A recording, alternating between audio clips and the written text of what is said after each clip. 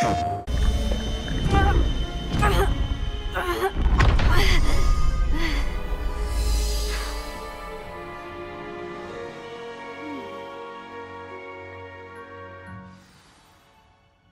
do you feel?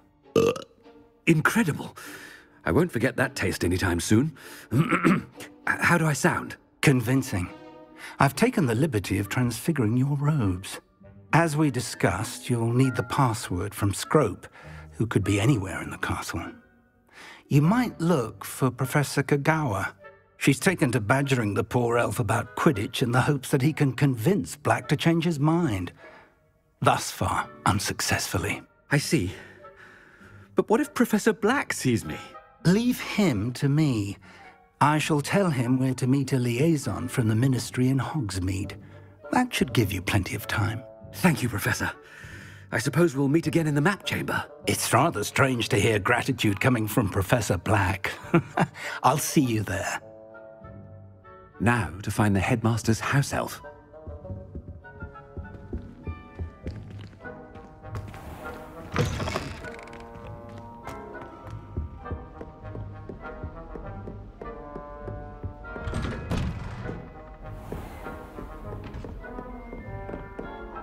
Professor, a moment of your time, please.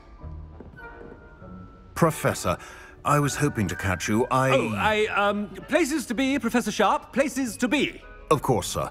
Only, you'd asked me about a particular potion, and I... Well, I... I did? I did, yes. Well, spit it out, Sharp. I don't have all day. Probably best not to discuss it here, sir. I assure you, Sharp, you may speak freely. Very well. I've brewed the cure for boils you wanted. I can drop it by your office when it's convenient. of course, yes. No need for all the cloak and dagger. Simply have a student deliver it. A student. Very well, sir, if you insist. I do. And thank you, Sharp. I just hope you've brewed enough for all my boils. Now, to determine which student gets this rather unenviable task. Has anyone seen my ivory-handled hand mirror? Of course you haven't.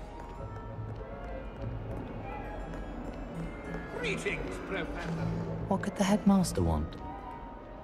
Gareth! Uh, Mr. Weasley, what are you doing here? Don't you have uh, somewhere to be? Oh, Professor, Yes, of course. All sorts of places I'd rather be right now. Uh, do you need something from me? I'm looking for my house elf. Surely you've seen him? Ah, the little one-eared fellow. I saw him heading to the Great Hall moments ago. Muttering on about your, um, sterling graces, sir. I am watching you, Mr. Weasley. Mr. Redding, who owns Honeydukes, tells me some of his billywig stings recently went missing. Prime potion ingredient. And I know you fancy yourself a skilled potioneer. What? But, sir, I haven't been anywhere near Honeydukes. I... Bah! That's enough from you. Just know that I have eyes and ears everywhere. On your way, Mr. Weasley.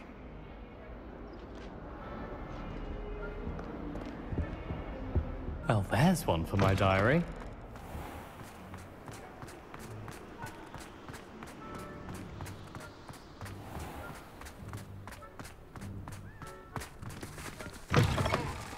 I haven't time for any of you at the moment. None.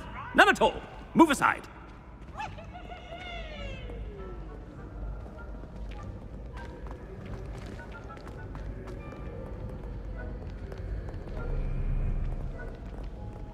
Headmaster, here, what could he want?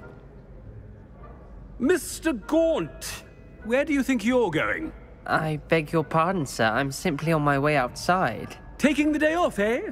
Typical student, wasting the hours away. I... I have to write 20 inches on Dittany and its uses was heading to the greenhouse. Ah, yes! Mixed with uh, bubotuber pus makes a, a fine uh, mustache paste. Yes, mustache paste. Uh, I find. Are you feeling all right, sir? You don't seem yourself. I assure you I am quite healthy, Gaunt.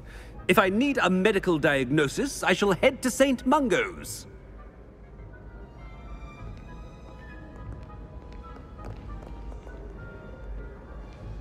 Something is very wrong with Professor. I wonder almost daily why I accepted this appointment from the Ministry. Professor, a word? Professor Black? Again, it is not too late to reconsider your decision regarding Quidditch. We. we could still have trials and a somewhat shortened season. It would be better than none at all. But the injury, Madam Kogawa. Professor, more than one student has taken a bludger to the head on our pitch. I dare say it knocked some sense into them. And they're fine now. The fact that it happened to be a pureblood, well, that's no reason to. What nonsense! That you would trivialize the health of a student over a, a silly game. A silly game? I. You are quite impossible sometimes. Sir, I've a good mind to write to the Department of Magical Games and Sports at the Ministry about you. Good idea. I can even provide the parchment should you need it. Now, where is my elf? I. Parchment? Very well, I will, and with pleasure. And I spotted Scrope in the Great Hall. Seems to be avoiding me. Hmm, I wonder why. Good day, Madam Kogawa. What did we do to deserve him as a headmaster? I do wish people would clean up. When I witness what passes for magic in these halls, I. Uh, I s- simply mourn for the future of the wizarding world.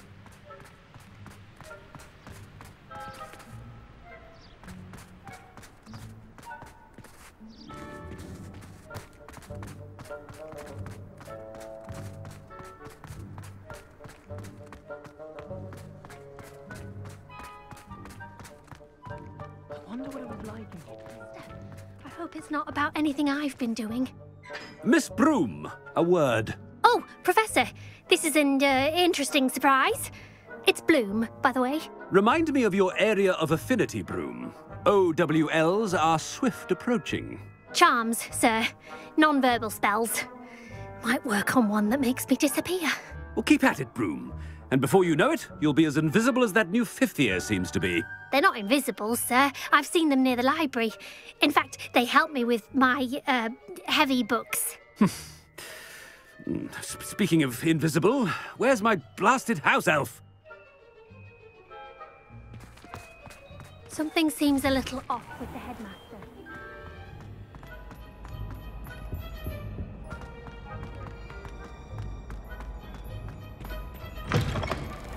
Greetings! I mean, out of my way, children!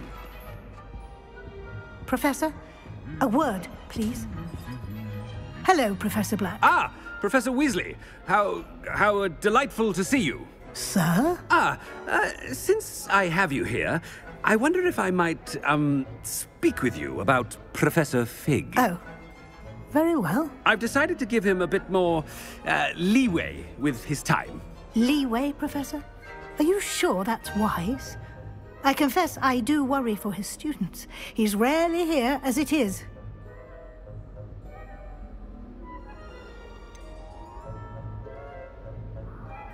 I realize that, and I'd like to keep it that way. I see. But, sir, if I may, I am wary of how much time the new fifth year seems to be spending away from the castle, supposedly on Professor Fig's behalf. I've heard unsettling rumors of their escapades. Everything from sneaking into the Forbidden Forest to confronting Ranrock's loyalists and Rookwood's lot. What? Goodness. You cannot believe everything you hear, Professor. No, no, no, no, you cannot. I mean, I shall keep an eye on Fig. You simply keep doing the wonderful job that you're doing. Simply wonderful. I. Well, I. Um, thank you. But I'm happy to look into. Uh, good, good. That'll be all, Weasley. I, I mean, Professor Weasley. Good day. A wonderful job. Leeway for Professor Fig. I shall never understand that man. That ought to give Professor Fig some breathing room. Professor Black is happy with Scrope's performance as his house elf. There's no... Ahem. Attention, students. I hereby decree that the Great Hall be forthwith decorated in the dignified banners of Hufflepuff. I shall be taking no questions at this time. Or ever.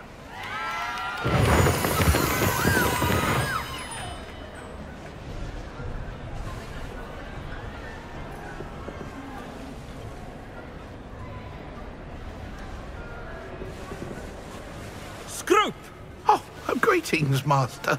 Remind me of the password to my office. Oh, but Master made Scrope swear never to tell anyone, even Master himself.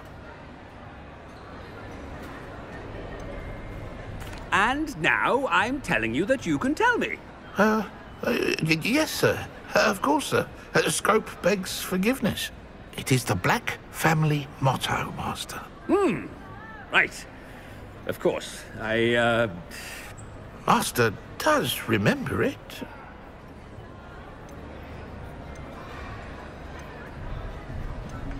It's pure bloods forever, isn't it? Uh, uh, close, Master. Uh, Scrope thinks Master is indeed testing Scrope. Uh, it is always pure. Obviously. And, of course, as Master knows, in French. Ah! Yes, of course. Uh, I order you to pronounce it for me. Oh, but Master knows that Scrope's French is most pitiful. Oh, uh, very well. Toujours pur. Ha! Thank you. Never speak of this conversation with me or anyone else. Of course, sir. Scrope shall try his best to keep out of Master's way. Ugh.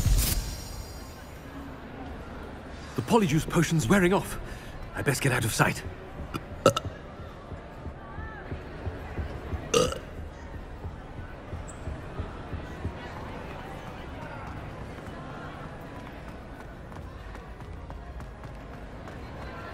Ah, made it just in time. It's wearing off.